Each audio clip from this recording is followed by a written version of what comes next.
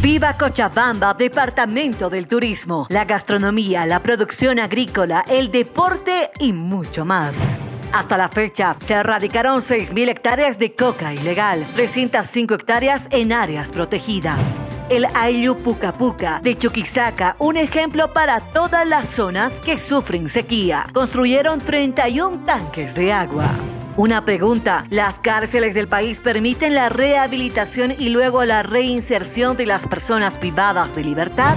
Santa Cruz, Lacao, recibe denuncias de avasallamiento de tierras a empresas tituladas.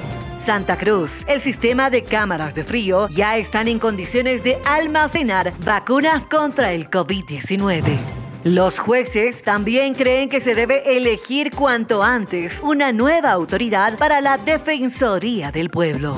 Y en el campo internacional, muchos chilenos están a la espera de una orden para el cuarto retiro de sus ahorros en el fondo de pensiones.